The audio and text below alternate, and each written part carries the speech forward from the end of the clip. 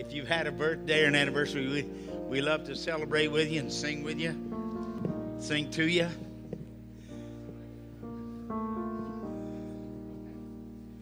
If you'll just come on up here.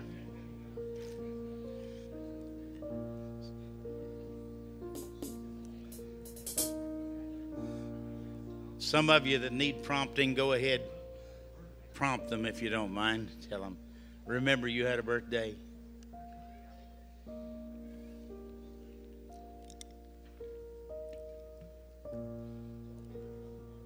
I don't believe we've probably ever had a time where there was not a birthday or an anniversary. I hear somebody, Gene, tell me. Who is it? Who is that? Who's it? Oh, Mike's. Is that Mike? What are you doing back here? if you'll come down, we'll sing to you. Put your name in the drawing for the new bicycle.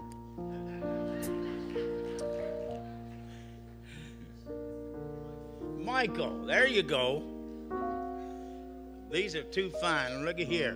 Now, who else had an anniversary or, or a birthday? We'll sing to these youngins here. Good looking bunch here. Are you ready? Happy birthday to you. Happy birthday to you. Happy birthday. God bless you. Happy birthday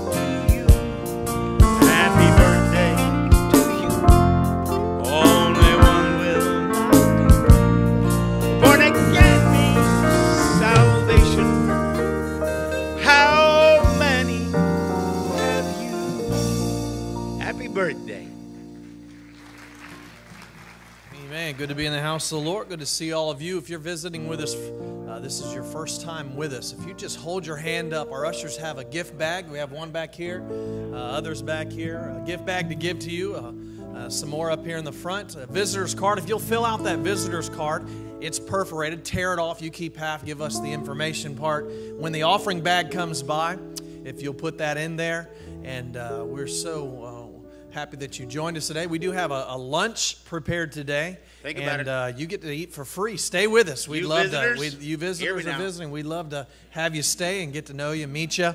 Stay with us for, for lunch, free of charge. So happy to have you this morning. Uh, good to have Joey Goody back there in the back. Saw Joey come in in the back. Good to have he and Lindsay with us, and uh, good to see him. Want to remember uh, Lester Saunders is uh, really sick. He's in the hospital, so let's remember him, uh, Lester, brother Lester Saunders. And uh, got a few reports that uh, some missionaries in Thailand are under Yes. fire. They're being bombed at this time.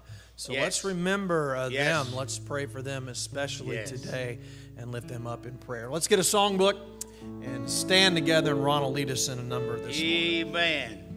Page 265. Love lifted me.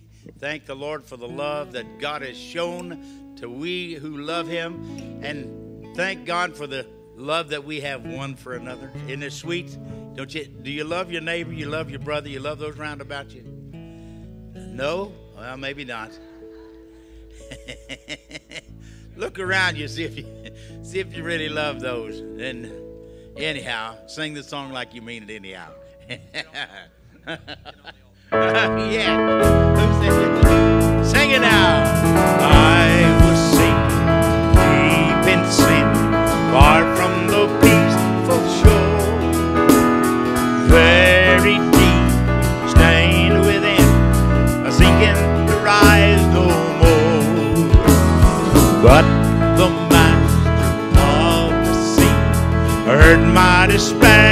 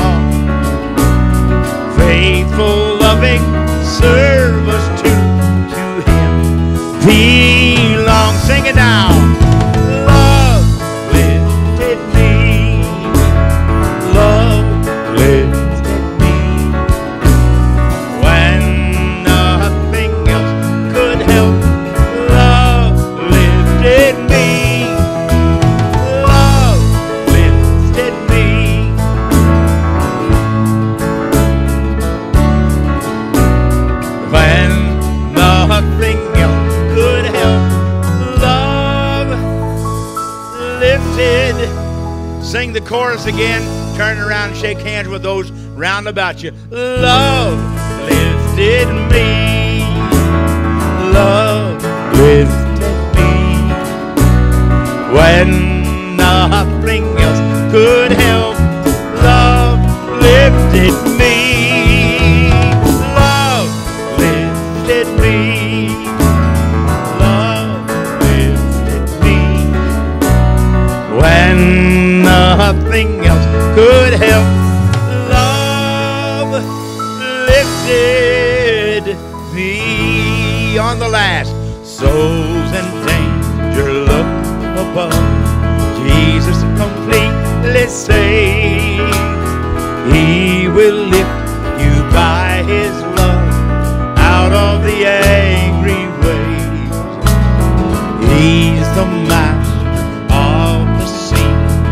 those his will obey. He, your Savior, wants to be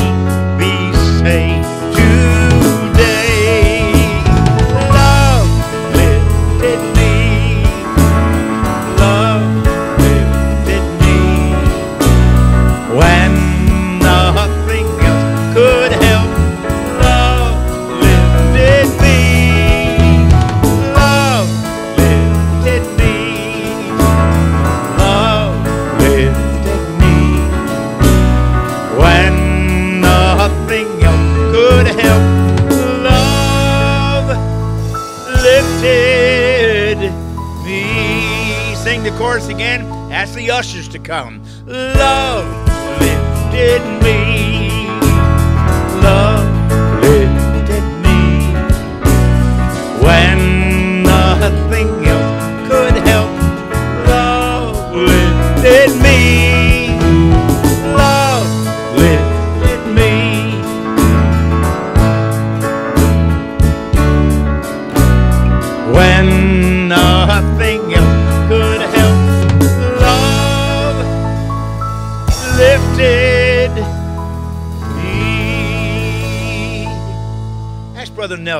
the Lord's blessing on the offering. Bless you, Brother Nelson.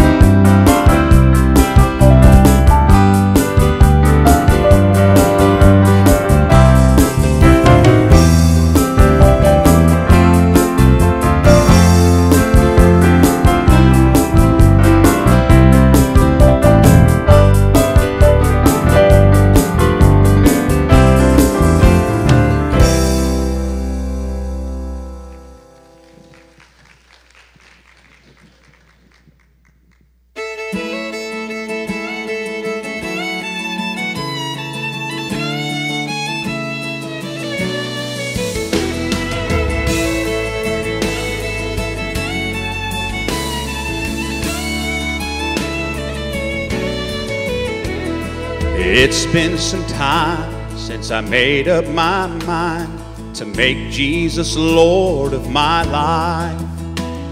And I've faced some fears, shed many tears, but patience has stood by my side. When I hear Satan say, You're not really saved, you're traveling down the wrong track. I recall once again where grace withstood sin. Down memory's lane, I take him back, and I take him back to the time at an old fashioned meeting when the presence of God filled the air. When the saints were singing of grace and glory, sweet melodies seasoned with prayer.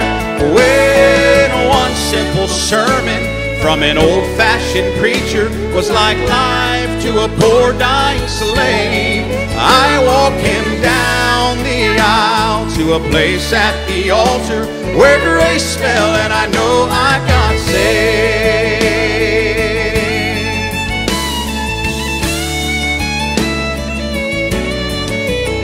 Now I never knew love till it came from above and took its abode in my heart. The sun now shines brighter, my burdens are lighter since Jesus gave me a new start. My songs have been changed, my life rearranged, my journey is now. And when that old accuser tells me I'm a loser, I remind him how he lost my soul. And I take him back to the time at an old fashioned meeting when the presence of God filled the air. When the saints were singing of grace and glory, sweet melodies seasoned with prayer. When one simple sermon from an old-fashioned preacher was like life to a poor dying slave. I walk him down the aisle to a place at the altar where grace fell and I know I got saved. When one simple sermon from an old-fashioned preacher was like life to a poor dying slave. A place at the altar where grace fell and I know I got saved. Well, I walk him down the aisle to a place at the altar where grace fell and I know I got saved.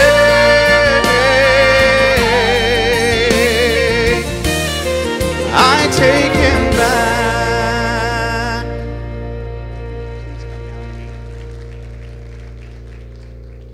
thankful this morning for my family, thankful for this church, and thankful that Joey got to come this morning. And, uh, he would uh, he would get on to me if I didn't sing this song. So I'm gonna sing this for Joey. He loves this song. Please come down to me.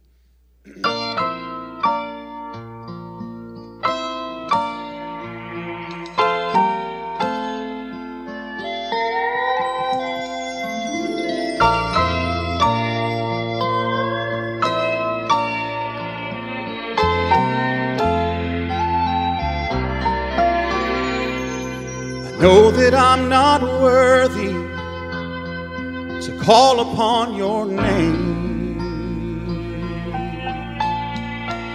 All my life I've been a sinner, and for that I am ashamed. But I heard that you would listen, so I'm giving you my plea. I'm too unworthy, Lord, to come to you. Could you please come down to me? I know that there are others who could offer more than I. I promise you I'd understand if for me you had no time.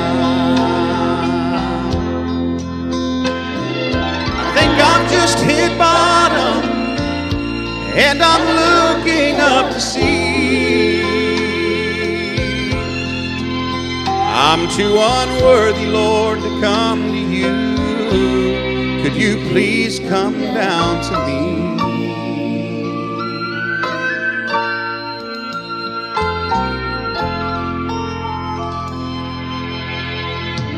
I guess I must be reaping from the seeds that I have sown. Lord, you owe me nothing. We haven't spoken in so long. But if you could spare some mercy, then Lord, I'll pledge my life to thee.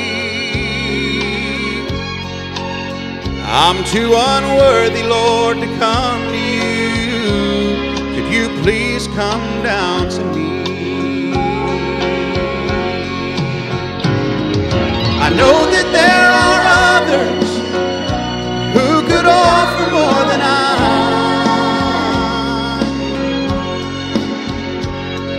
I promise you I'd understand if for me you had no time.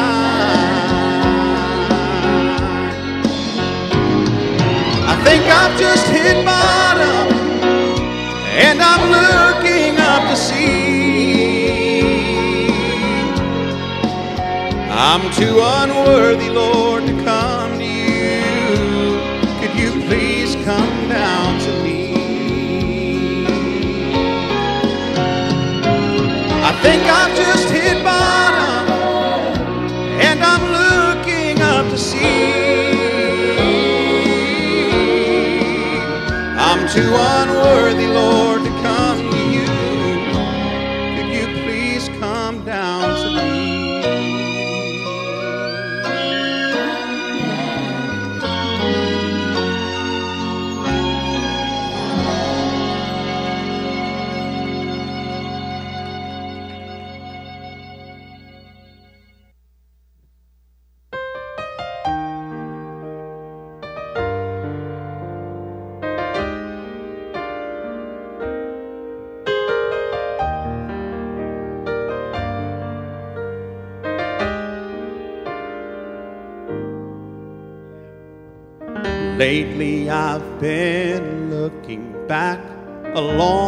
this winding road to the old familiar markers of the mercies I have known.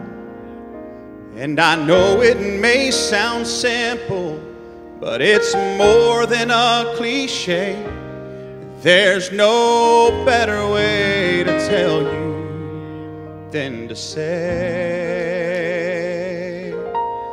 God's been good in my life. I feel blessed beyond my wildest dreams when I go to sleep each night.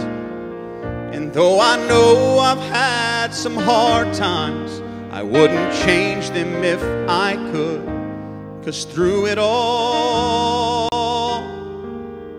God's been good.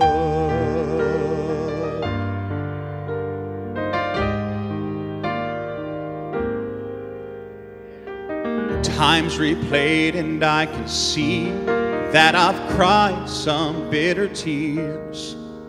But I felt his arms around me as I faced my greatest fears. You see, I've had more gains than losses, and I've felt more joy than hurt as His grace rolls down to me undeserved. For God's been good in my life. I feel blessed beyond my wildest dreams when I go to sleep each night. And though I know I've had some hard times, I wouldn't change them if I could. Cause through it all, God's been good. For God has been my Father, my Savior, and my friend. His love was my beginning, and His love will be my end.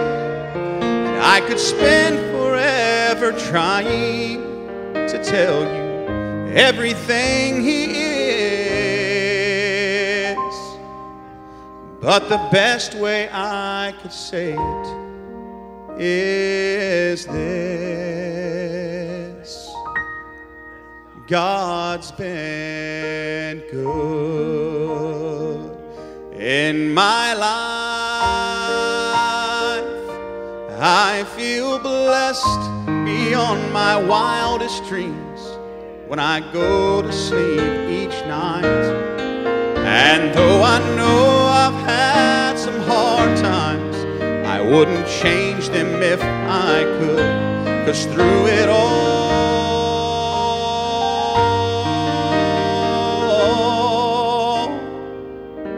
God's been good.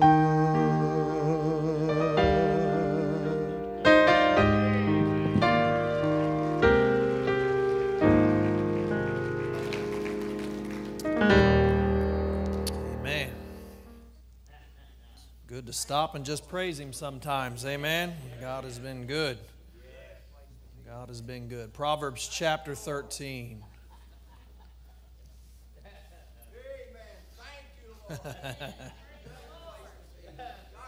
yes, He has.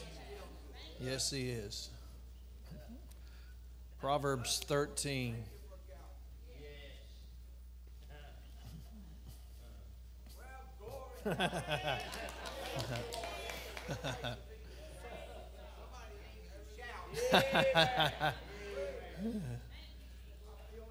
Yes. Thank Him for His presence, that's for sure. Proverbs 13.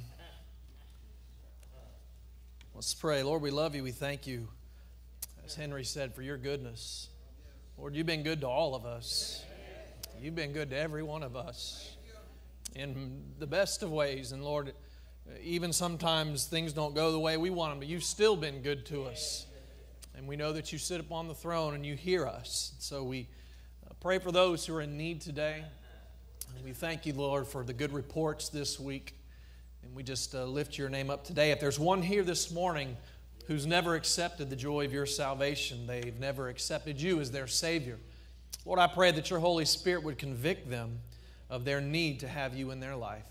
There's a Christian here who, who uh, Lord, has, has wandered from you and drifted, uh, Lord, from your presence. I pray they would get back into the center of, of your will for their life. There's another who has a need, burden they're carrying. I pray that you would just meet every need this morning. We love you. We thank you. Thank you for your spirit. Be with the message this morning. And uh, Lord, prepare hearts as only you can to receive it. For it's in Jesus' name. And all God's people said, Amen. This morning, I want to talk to you, uh, especially our young people, uh, about friendships. Uh, at some point in your life, you're going to find yourself close to people. Uh, the dangerous part is that there will be some who you want to be close with who are moving their lives in the opposite direction spiritually that you are. Even though you grew up together, even though you, you've been together for years, they at some point, for some unknown, they now have different values than you do, and different morals, and different standards. And there will be a part of you who wants to stay connected with these people. Now, this will probably begin sometime in childhood. It will escalate as you continue to get older. And understand, young people, it will drive your parents crazy. If you grew up in the average American home, your parents constantly freaked out about the people you spent time with. All of us had parents who said, You can't go to his house. You can't go to her house. You can't spend the night there. And you're like, but why? It's so great. Their parents are never home. We can do whatever we want. And your parents say, You just answered my question for me.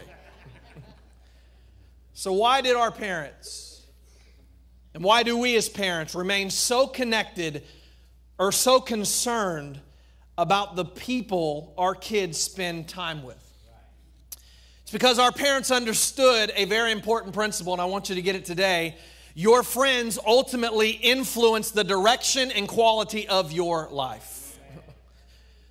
I heard a true story about a girl who was just turned 13 and she was dating a guy who was 17. And her mom just completely lost it. And that 13 year old just couldn't understand because, in her words, he was so hot.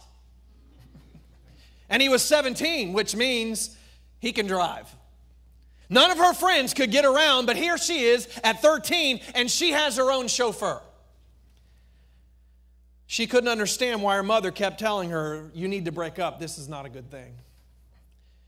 She said one afternoon she was pitching for her softball team, and right behind the backstop was her 17 year old boyfriend watching her pitch. All the other girls on the team just thought she had it all. I mean, her 17 year old boyfriend is even coming to watch her pitch in her softball game. That little girl said I was grinning from ear to ear. That is until I saw my mom come around the corner. She slid up beside her boyfriend got his attention, and they both disappeared behind the concession stand, all while she's trying to pitch. She said, I knew what was happening. My mom was breaking up for me. and sure enough, mom never reappeared, but boyfriend, or should I say ex boyfriend, reappeared and sat with this sad look on his face. She said, Sure enough, after the game, I got home. My mom informed me, You don't need to break up with him because I just broke up for you. And we would say, Now, why would a mom do such a thing? Because mamas understand that when you get so close to people moving in the wrong direction, something must be done. And let me tell you this, kids, you're still in your parents' house and they're still in charge. Amen? And just as our crazy, overprotective parents were watching out for us, we're now doing the exact same thing with our kids, except we have an advantage our parents never had. We have an electronic surveillance system. We don't have to go anywhere. We can just go to Instagram, Snapchat, Twitter. We can check emails, texts, phone records. It's absolutely awesome. We can just spy like crazy, and we do the very same thing and interfere just like our parents. So, why are we so concerned? Again, because we understand that friends influence the direction and quality of our life. See, here's the thing about friendships the thing that makes friendships so great is the thing that makes friendships so dangerous. And I want to explain it this way when you're uh, with a friend, you drop your guard. The reason we're attracted to certain people as friends is because we're all acceptance magnets. We hate rejection. We are attracted to acceptance. And when you find people who you think accept you, you drop your guard. So when you're with people who accept you, you are the most open to influence than you'll ever be. One writer said this acceptance leads to influence. When I'm in an environment where I'm completely accepted, I am open to the influence of those people around me. That's why most of the time we act like the people we hang around. Either you've influenced them or they are influencing you. We close down around rejection, we open up around acceptance. Again, that's what makes friendship so great. That's what makes friendship so dangerous. Don't raise your hand, but I imagine the first cigarette you ever smoked, you were with somebody. Maybe the first drink you took, you were with somebody. The first time you saw something with your eyes you shouldn't have seen, you were with somebody. You see, your greatest regrets don't revolve around your enemies, do they? A lot of times they revolve around being with friends or so called friends. Our friends have powerful influence over us. Why is it that 74% of Bible believing college age kids walk away from the church and their faith by the end of their freshman year? One word influence. The people we choose to associate with have the power to influence the direction and quality of our lives. And so it can work for you, but understand it can work against you. Now, I would say you would probably not argue with anything that I've just said. You've lived long enough to know how powerful friendships can be. Or maybe you've just watched other people. Maybe it was your brother or sister, maybe a, a cousin, a, a friend. Maybe your own kids are dealing with this. No one would argue it. But what's so fascinating is that there's no better place I know to find this principle stated than in the Word of God. And it's stated by the wisest man who ever lived, according to the Old Testament. And that was a man by the name of Solomon. And I want to read one verse today and then give you some very specific application regarding your relationship to other people, and we'll be finished. Proverbs 13, you're there. Here's how Solomon essentially says everything we've said so far. Verse number 20 Solomon says, He that walketh with wise men shall be wise, but a companion of fools shall be destroyed. See, if you notice, the top half of this verse, it gives us a promise. But then the bottom half of this verse gives us a warning. First, let's look at the promise. Here's what Solomon promises He promises that wisdom is contagious. That if you surround yourself with people that the Bible would consider wise, it rubs off on you. So much so that you'll become a wiser person simply by being in the company of other wise people. We may ask, well, what exactly would you consider a wise person, or what does the Bible consider a wise person? Well, according to Scripture, a wise person is a person who understands that all of life is connected. What I mean by that is this is that what you do today and what you think about today and your actions today will influence who you are tomorrow. That, that what you did yesterday could have consequences today. That the choices you make will impact your life and that all life is connected. So the wise person, they don't make decisions based simply on today, but how it affects tomorrow and the next day and their future. And scripture teaches this is contagious. So that's the promise. Walk with wise and become wise. But then here's the warning but a companion of fools shall be destroyed. Now, I want you to notice this here. Don't miss this. The warning is not if you're a companion of fools, you'll become a fool. And this is where we get tripped up because we assume that if I spend time with wise people and that's contagious, then that means if I'm a companion of fools, then I'll become a fool. That's not what Solomon's teaching here. No, the warning in this verse is this that a companion of fools, a person who hangs out with fools, is a person who will eventually be impacted by the behavior and consequences of that fool's actions, whether you're a fool or not. Just hanging out with the fool, whether you behave like them or not, just being in their presence, you will catch the impact and devastation of their foolish ways.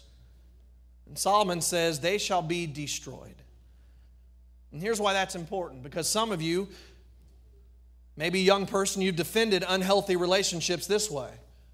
Well, I'll, I'll never do what they do, I'll never act like they act. I'll never participate in things they participate in, therefore I'm safe. And Solomon says, You're dead wrong.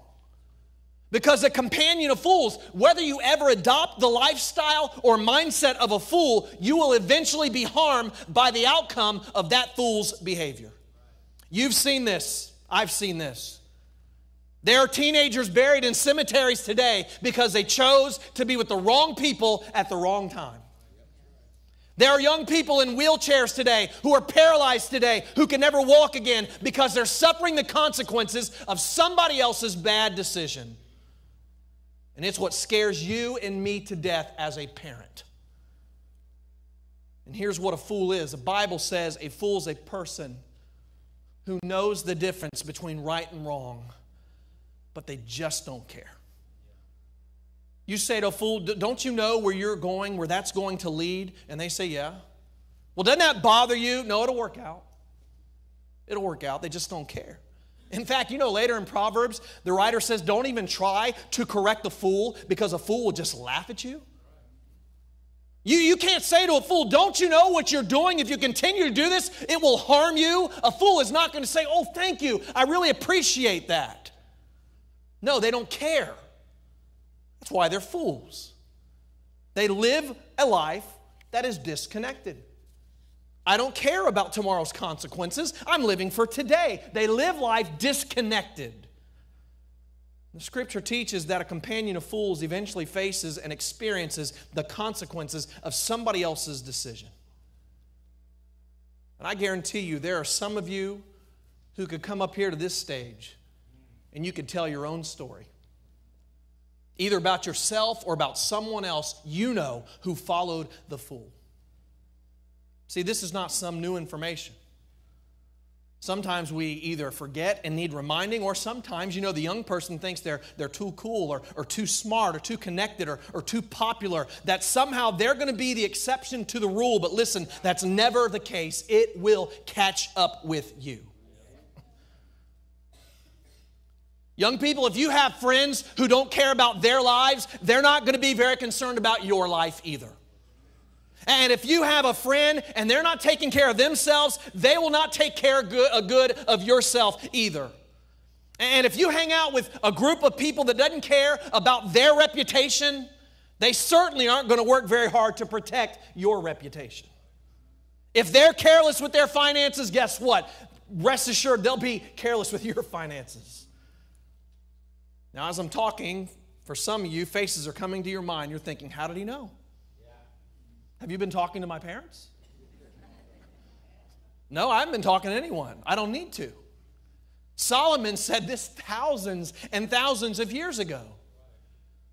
That if you continue to ignore this warning, you will pay for it.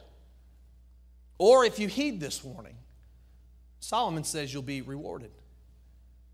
He that walketh with wise men shall be wise but a companion of fools shall be destroyed. So, what I want to do right now, uh, I want to leave you with four suggestions. These are just suggestions.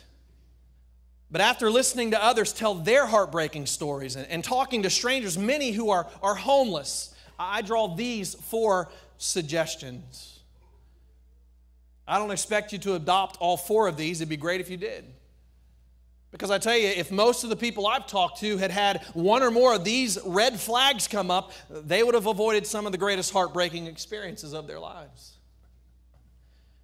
Let me give you four suggestions, and we'll be finished. Suggestion number one young people, your, your conscious, conscience should, should just light up, should just convict you. Number one, when you catch yourself pretending to be somebody other than who you know you are. You hear me? When you catch yourself pretending to be somebody other than who you know you are, a red flag should just go up the moment you realize when I'm with this group of people, I pretend. When I'm with this group of people, I try really hard to fit in, even though that's not me. When I'm with this group of people, I ignore certain Christian values. I just go along with their values and ignore the moral values that I've been taught. And when your heart is saying, wait a minute, that's not you, you've been raised. But you find yourself moving away from who you really are. When you're around a group of people and you want to fit in so badly that you're willing to compromise how you've been raised, it should bother you. And I pray you catch yourself and you stop and you turn around and leave that companion of fools. Amen? That's suggestion number one. Let me give you suggestion number two. Suggestion number two is this your conscience should light up, a red flag should go up when you feel pressure from those so called friends to compromise in your life. And when you begin to consider a behavior you have always considered off limits, that's when I hope something inside of you just screams, wait, stop. That is a behavior that is wrong, and I've been taught that it's wrong, and I cannot continue to move in this direction. And some of you, this is subtle because we begin to have a conversation with ourselves, don't we? We begin talking to ourselves. And we begin to talk to ourselves into things we never would have done before. And, and we talk and we begin to dumb down our conscience. You know what else we do?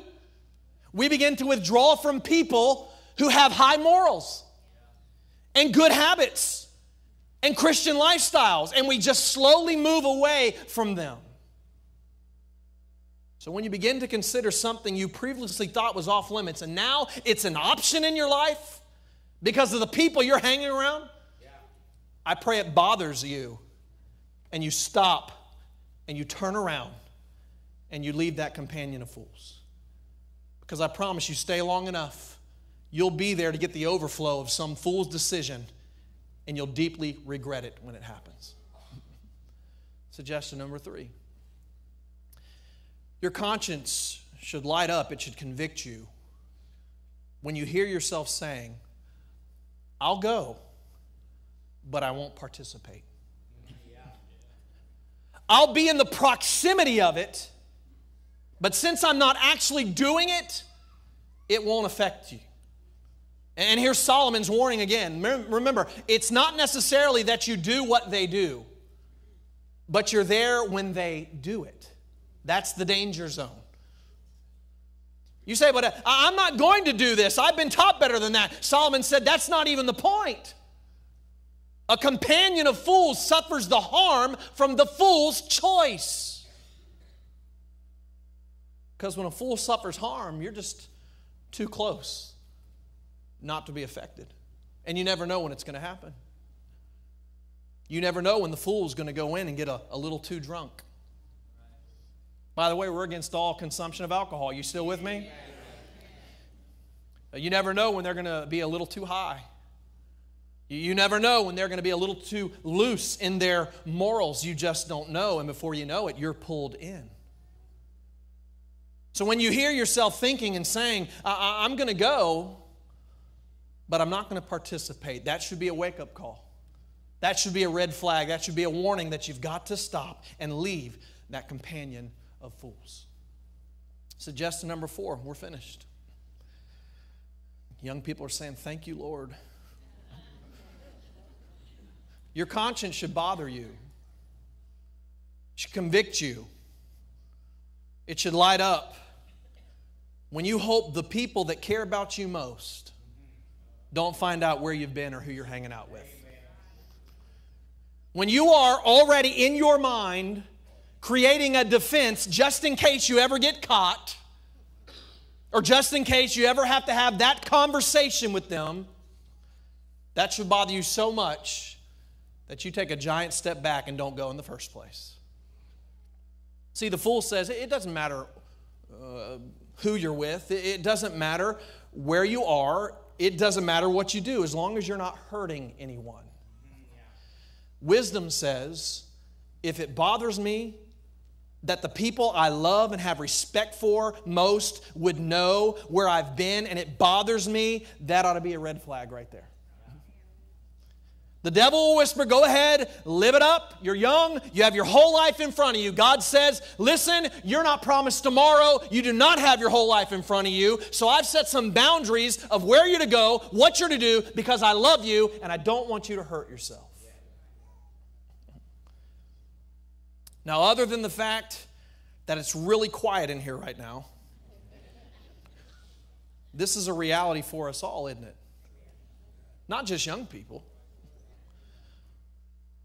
Now, if you choose to do nothing, with, with what you've just heard, if you, you choose to find yourself hanging around continually with a companion of fools, then here's what I would bet. I bet one year from now, you'll wish that you'd come back to this very day and respond differently to Simon, Solomon's wisdom to you.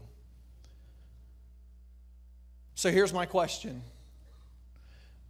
Will you do what you know the Holy Spirit's telling you to do with what you've just heard? Will you heed the warning that you will suffer harm if you continually hang out with people who are foolish? Because friendship is wonderful, but friendship is also dangerous.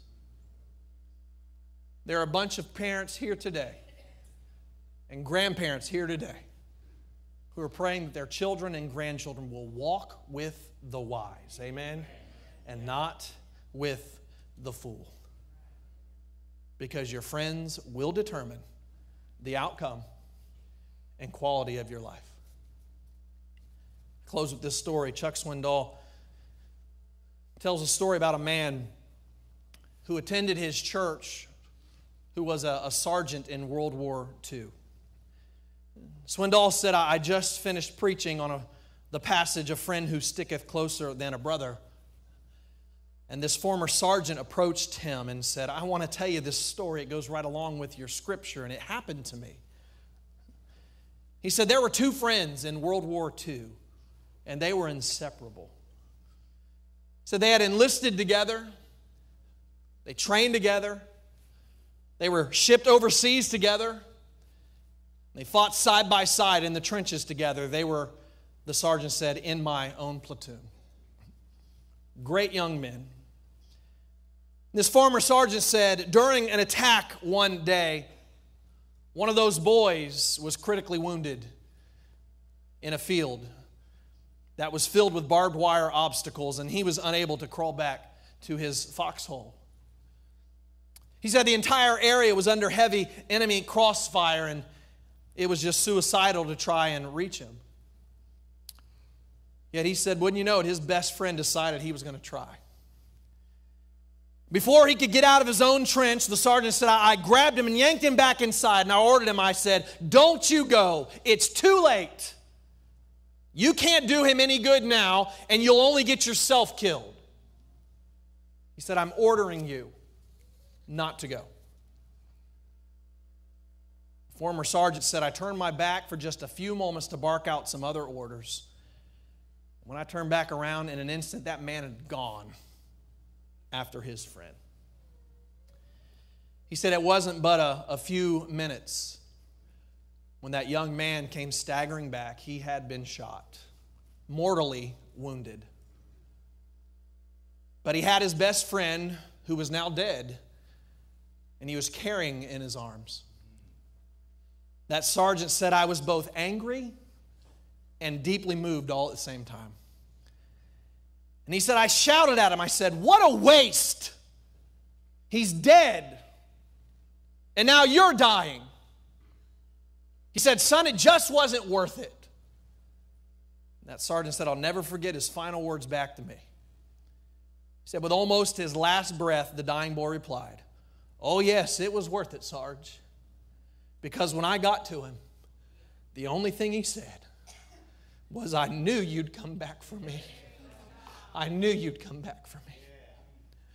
And I thought one of the true marks of a good friend, church, is that he or she is there when there is every reason for him not to be there.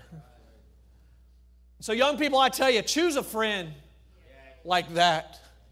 Choose a friend. Proverbs 17 70 says, Choose a friend that loveth at all times. That's the kind of friends we as parents want you to have. Because your friends will influence you, and your friends will determine the direction and the quality of your life. So I warn you, and I plead with you find yourself, young person, walking with the wise and don't be a companion of the fool. Amen. As we stand together, heads bowed and eyes closed. We get a song of invitation. Maybe you're here this morning, you have a need in your life. Heads are bowed, eyes are closed, a burden that you're carrying, a heartache that you're suffering, and you want to be remembered in prayer. Would you just slip up your hand by that saying, Pray for me? Bless those hands. Any others? I have a need this morning. God knows my heart and my life, and I want you to pray for me. Are there any others? Bless those hands. Bless those hands. Young people, I've spoken today, especially to you. I pray you will apply to your life to walk with the wise. Don't find yourself in a companion of foolish people because it will get you into trouble and you will suffer harm. Then there's one more group here. Maybe you're here this morning and you've never been saved. You know, if you're unsaved, that's the biggest fool of all. The Bible says, A fool says in his heart, There is no God. Where do you find yourself this morning? Have you been saved?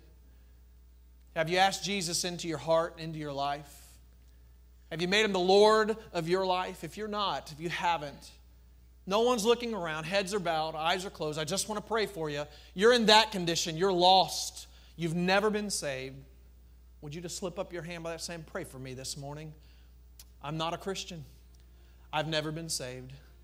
I've never put my faith and my trust and my hope in the Lord Jesus Christ. Would there be one? Just slip your hand up and put it right back down. Would there be one? The altars are open if any need to pray. Lord, we love you. We thank you for your word. We thank you for the promise that if we walk with wise, we will be wise. But Lord, thank you for the warnings as well. That we guard our relationships, that we put a hedge around who we allow ourselves to associate with. Help us to associate with wise people, not as fools. We pray for all those this morning who raised their hand. They have needs in their life, a burden that they need lifted. Lord, if they need to come this morning, the altars are open. Others are here, Lord, and maybe they're not saved. They've never accepted you. If they're in that condition, I pray the Holy Spirit would convict them of their need of coming to you for salvation for whatever reason that someone's here and they need to pray, I, I pray that they would submit to your Holy Spirit. We love you and we thank you for your word. For it's in Jesus' name, amen. As we sing, if you need to pray. Page 410. Jesus, keep me